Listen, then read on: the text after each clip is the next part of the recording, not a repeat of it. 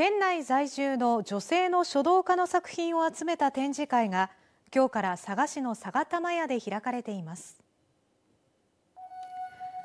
この展示会は県内の女流書道家の作品を多くの人に見てもらおうと1995年から毎年開かれています。29回目となる今年は県書作家協会の正会員104人と三女作品3人の力作が展示されています。こちらは小野恵香さんの作品です。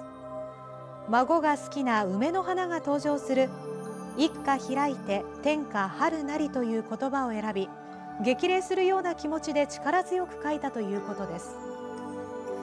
この他にも会場では墨継ぎを生かして濃淡をつけ奥行きを出した作品や今年の干支うさぎにちなんだ作品などが並びます。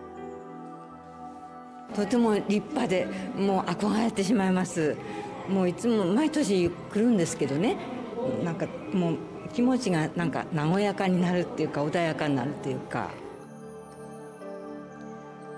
この展示会は今月16日まで開かれています。